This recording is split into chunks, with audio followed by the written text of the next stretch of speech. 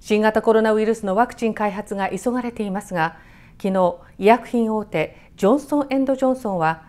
開発中のワクチン1億回分を供給することでアメリカ政府と合意したと発表しました。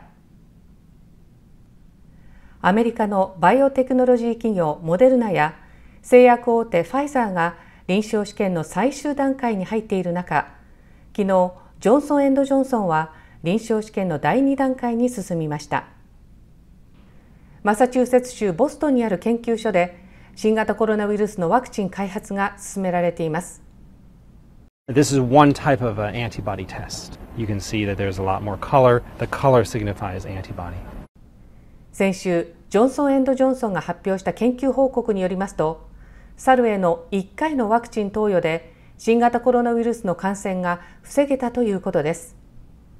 また昨日アメリカ政府からの10億ドルの資金提供で1億回分のワクチンを供給する契約を締結しました「